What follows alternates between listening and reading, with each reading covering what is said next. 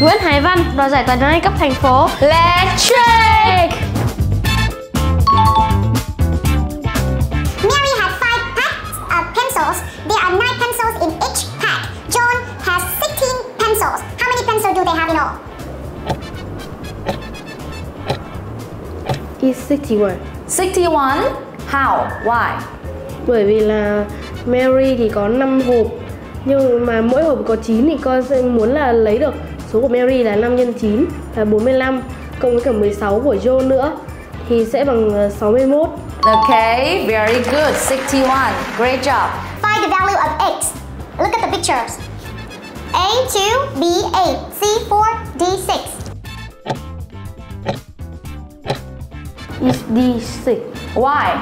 Bởi vì là cái ờ, một cái cạnh của nó cộng với một cái cạnh 2, một cạnh 4 cộng với một, một cạnh 2 thì sẽ bằng cái cạnh mà người ta đang hỏi. Okay, very good. Blah blah of the below circle is not color. A, a third. B, a fifth. C, a fourth. And D, a sixth. Is B a four, a C a fourth. A fourth, why? Bởi vì là nó có một cái hình tròn nó đã được nó chia thành 4 phần, nó đã được tô vào 3 phần thì còn một còn một phần thì người ta sẽ gọi là 1 phần 4. Okay, right. A fourth, very good. Now, let's move on. There are 56 students lining up in rows. There are 7 students in each row. How many rows are there? Is 8. Eight. Okay, great job. Right. What time will it be in 30 minutes? Is B 2 and 20. 2 and 20. Okay, great job.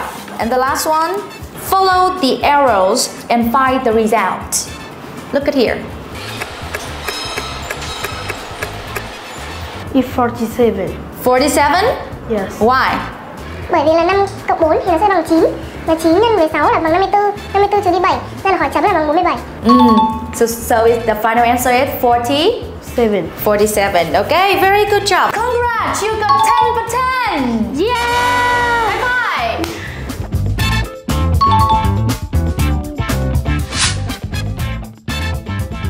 Uh, happy, surprised, and grateful. Grateful, very good. One, practice carefully. Two, have a good health. Good. Three, learn English. Oh, learn English. Okay, now next.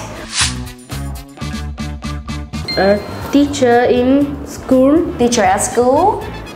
Miss Chang in Oh. Miss Hua Junior. Oh. And um, my mom. Oh, your mom. Very good. Cả nhà có thấy rằng là học viên tại Miss Junior thì vừa giỏi tiếng Anh vừa giỏi các bộ môn khác đúng không nào? Vậy tại Miss Junior thì các con không chỉ học mỗi tiếng Anh mà còn được rèn luyện kiến thức đa bộ môn như toán, lịch sử, địa lý. Từ đó các con có thể phát triển đồng đều cả hệ kiến thức lẫn hệ kỹ năng. Ngoài ra tại Miss Hoa Junior thì các con có thể tham gia các câu lạc bộ miễn phí như câu lạc bộ tiếng Anh khoa học diệu kỳ, câu lạc bộ toán tiếng Anh hay câu lạc bộ ngữ pháp miễn phí. Để tham gia các câu lạc bộ này thì ba mẹ hoàn toàn có thể để lại đường link phía bên dưới hoặc inbox trực tiếp cho Miss Hoa Junior để được hỗ trợ nhé. Hẹn gặp lại ba mẹ và các con tại Miss Hoa Junior. Bye! Miss Wa Junior, English for the future